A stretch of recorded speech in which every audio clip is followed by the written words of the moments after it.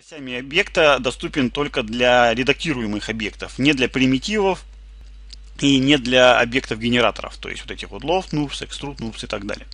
Давайте добавим вот примитив Q, преобразуем его в полигональное редактируемое состояние и выберем режим э, работы Use Object Axis Tool. И теперь в этом режиме мы можем его осевую систему, от которой происходит э, отсчет его координат, поворот и так далее, мы можем теперь перемещать независимо от геометрии объекта в пространстве.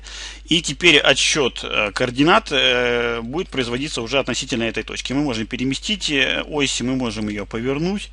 Ну и, соответственно, таким образом можно произвести ее редактирование. Э, понятное дело, что ось у нас не имеет какой-то такой э, своей геометрии, поэтому э, редактировать ее масштаб нету смысла никакого. Поэтому можно ось, независимо от объекта, только переместить и повернуть в пространстве.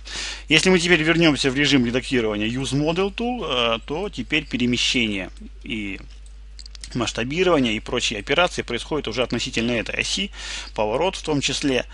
И, соответственно, теперь вот эта ось, э, координаты объекта геометрии будут высчитываться теперь исходя вот из, из положения оси вот в, этом, в этом месте в пространстве. Для перемещения осевой системы относительной геометрии существует э, меню структура Axis Center, Axis Center. Для управления положением оси относительно геометрии объекта и наоборот э, положение геометрии объекта относительно оси существуют две вот эти кнопки Center Axis to и Center Object to. Э, Center Axis to нажимаем ее, и у нас наша осевая система перемещается в центр геометрии объекта. Если отменю действие и использую функцию центр object, то у нас перемещается наоборот геометрия в, э, э, относительно нашего центра становится.